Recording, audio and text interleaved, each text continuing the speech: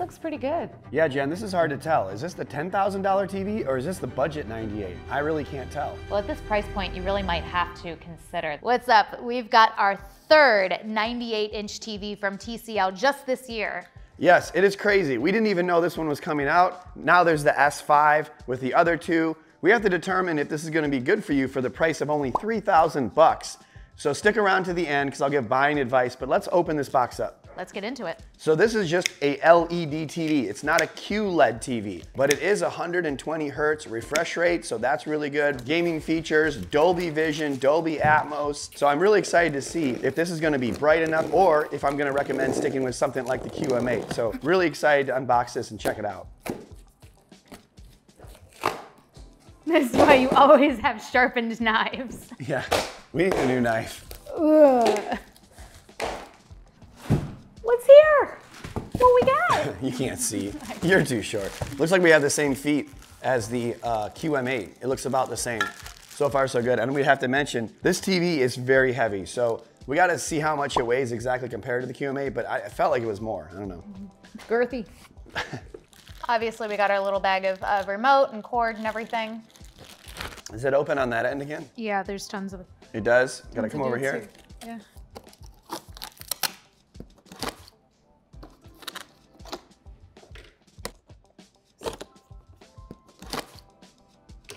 How was that for you? Super simple. Pull it this way. Here we go. You gotta, you gotta have spaces to put boxes when you have this sort of job right here. Yeah. Taking this off? All right, got it. You taking the styrofoam off or am I? Who's got holding it. the TV? I got it. You got. Is Caesar whimpering? Yeah, he's crying. He says another big one. So it looks like we'll be able to take off the end styrofoam and then put the feet on like that and then bend at the knees, of course, and don't touch the screen. Let's do it. Let's take this stuff off. I'll take this. Why don't you get your not sharp knife out and cut those little tape strips off so we can open it Sounds up. good. Woo!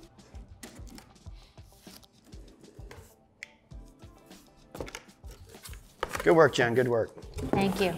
Now this is where it gets a little tricky. We can take these ends off, but then someone has to watch the TV because it gets kind of like, you know, it's gonna tip over if you don't. So Got my eyes on it. you want me to lift mine out 1st mm-hmm. Get a little lift, pull that out.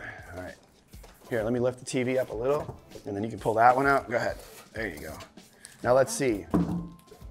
I don't trust it. Yeah, a little dangerous. Okay, now, do you want to put the feet on or me? You're better at that. Let me let me take it. I got the TV. Okay, then you're gonna hold it. Then I'll I hold need it. to undo this right here. Yeah. To get, oops, to get at them their feet.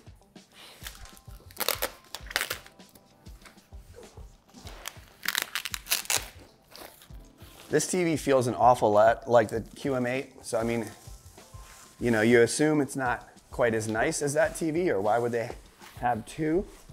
One for you know 7,000 and one for 3,000. But honestly, this is pretty nice so far. The true test will be turning it on. I suppose.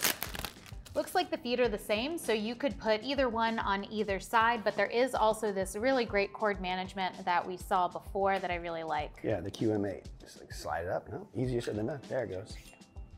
All right. which that's how you'll access the holes. Do you need me to lift or anything?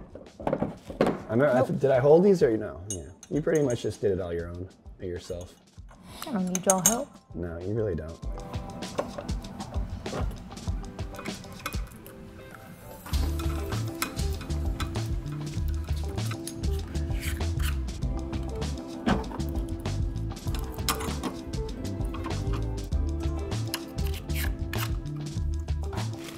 All right, so we're ready to lift it. We got to get it out of this awkward plastic because, you know, it's not good. Okay. Hey, it's gonna be a heavy one. Ready? One, two, three. Oh, see? Look at that. It's always trying to tip on us. All right, good job. Should we get this thing moving here? I think we gotta bring these suckers over. Contain your excitement. Oh, my excitement is uncontainable.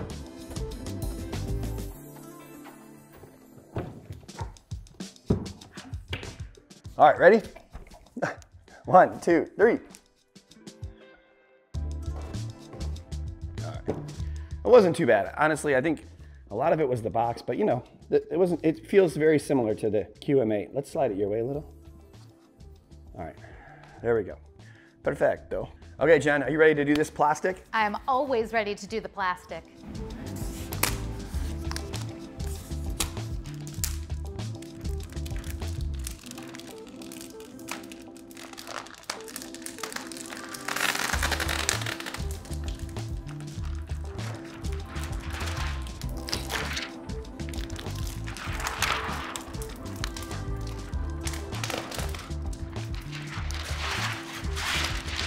Okay, Jen, we got it. That was great. You're, you're obviously good at that. I've done it a few times. Takes talent. I see in the reflection, it looks like it's not quite as good as the QM8. There's a little bit more anti-reflective coating on that one, although it's not terrible. So it's like, it's in between, kind of like the R754. Obviously, there's gonna be more differences, but let's check out the back. This is a pretty thin looking TV too, Jen. It sure is. The first thing we noticed is that it has a big old speaker in the middle again. Uh, the R754 had an Onkyo speaker. The QM8 did not have a speaker there. So that's pretty cool. Give a little bit more bass. I do see that it has that same 600 by 600 millimeter VESA pattern, which is rather large and it's not easy to find a mount with that pattern, but it's still better than the old R754's pattern that was 850 millimeters wide. Those are almost impossible. So better pattern, still heavy TV, you're gonna need a big old mount.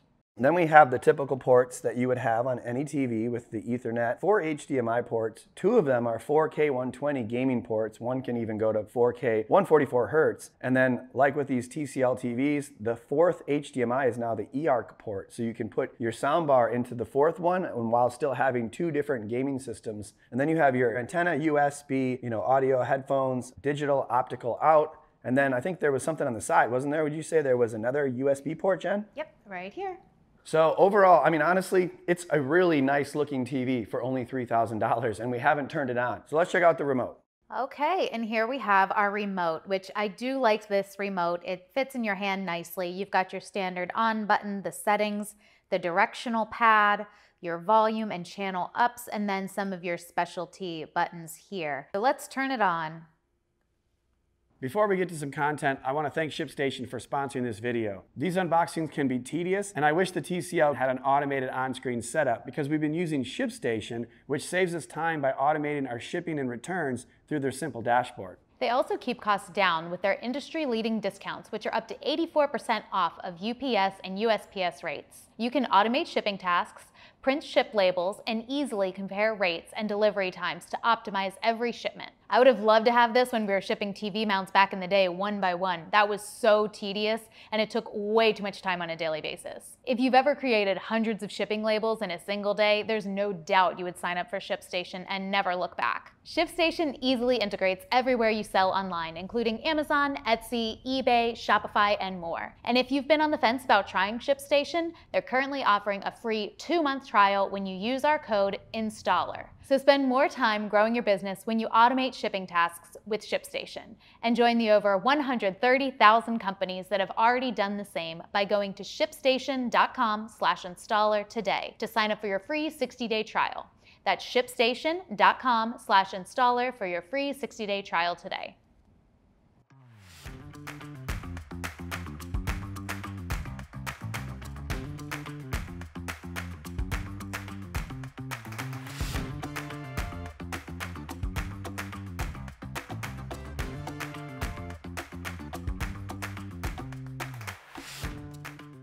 Okay, Jen, we got the TV ready to go. Thank goodness. Thanks for all the help. Awesome. Happy to be here. All right, so we had to do a couple setting changes. It's on like low power and it's on the intelligent mode. So we went in, got the intelligent mode removed so it got brighter, and then we took it out of low power mode and put it on smart HDR because that's what you want. You want it to look like HDR. And the motion controls were all jacked up. So we lowered those down to five and five and you guys can mess around with those as you like. But let's get to the Google TV operating system. So here we have it. We've had it on a lot of TVs. So, you know, pretty common to us. I really like Google TV operating system. Got a ton of apps.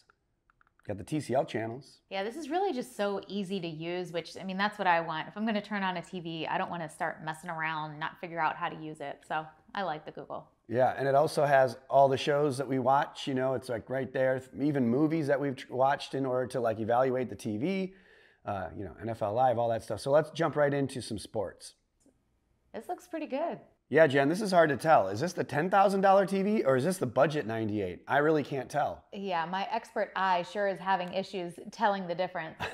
yeah, the brightness is really good. The colors look really good. And, you know, I'm not seeing like any blooming. I don't think this has dimming zones. So it's one of the direct lit TVs and it looks fantastic so far. I currently have no complaints. Yeah, no complaints so far. And I think every TCL TV we've seen this year has looked good for sports and cable. And I think this is as bright as any of the ones we've saw. Now this is an S series, so it's not a Q LED. This is just an LED, just an LED, you know. Yeah. Sorry, I got a little distracted by all the ankle. So what we really need to do now, Jen, is to see if HDR can look as good as this because sometimes standard cable can get bright, but when you watch like an HDR movie, normally it doesn't look as good. But let's find out. Let's watch some of that Avatar Way of Water and see how that looks. Okay, I think the picture quality of this TV is looking fantastic for HDR. With a TV like this that's direct lit and doesn't have dimming zones, you may not get perfect black levels like an OLED, but I see much better highlights in this and there doesn't seem to be any like suppression of the highlights to try to make areas darker. And what it's resulting in is that this looks fantastic. We're watching a movie in this Avatar Way of Water that's typically pretty hard to see the HDR impact on like a mid-tier QLED TV. And again, this is not a QLED nor is it got the dimming zones. But I don't know, it looks fantastic to me, especially for a 98 inch size at $3,000 or $4,000. Yeah, I mean, like I want to say, why would you pay more for this, but I mean, this is really such a great quality product. Hold on, Jen. We got to let them get to the mm-hmm. buying advice here in a minute. Okay, okay. A little tease, a little tease. But yeah, overall, it's really nice. However, it was in the Dolby Vision IQ mode automatically, so I had to take it out of that because it had both of the motion settings maxed out and I couldn't reduce them. And so for me, just turning it into Dolby Vision Bright and then, uh, you know, adjusting those motion controls got it to where I like it because it looked way too like soap opera like. It was really difficult. Well, and if you like it, I like it. Oh, right, right. But now that we have it in the Dolby Vision Bright, it looks fantastic. I'm really impressed with this. But before we give our seal of approval, we better run a couple tests. So first test is the dirty screen effect. You wanna watch the hockey guy and see if you notice any darker areas behind him. And this, like many other LED and QLED TVs, you notice some, a little bit of dirtiness around it. Uh, it's not fantastic. You know, it definitely could be better. Can you see some of that, Jen? I like a good dirty hockey guy. That's not what we're talking about. But the dirty screen on this is not fantastic. However, we've done TVs, even 8K TVs from other brands that were three or four times as expensive as this, and they have similarly bad dirty screen results. So I'm not necessarily just saying, you know, give TCL a pass on this. I think it's in the middle, and I think some people might say it's a little bit dirty. Some people might say, hey, it's fine, you know, depends on your level of dirtiness. But I've seen better, and I've seen worse, and I've seen worse on more expensive TVs. So I think we just move on. And then another test we normally do is the local dimming test to see how well you can have the screen be black in one area and white in another area. And you know what, Jen? It's kind of irrelevant because there are no local dimming zones on this TV, meaning that it's probably not gonna get perfectly black in these areas like some of the other TVs, an OLED or a really good full array local dimming TV. However, there are no blooming areas. So really, it's just pretty uniform. It looks 90% as good as most other TVs, but it doesn't have any of those side effects of having your widescreen bars light up during movies. So I actually like this, and I, I think it's a big win for the S5. Yeah, so it's B the Installer approved. Let's hit the next test. The last test is the anti-reflective capabilities. Uh, again, this one, it's not as good as the QM8. It's a little bit worse. Uh, it's a little bit more matte-like than the very glossy QM8. But overall, it's about as good as the R754 from last year. I don't see a ton of reflections. And again, I think this TV is bright enough to combat that. So I think it's fine in that respect too. And I think we just go on to some buying advice for these people. Let's do it. Okay, Jen, very important for the people. Do we like this TV or do we not like this TV?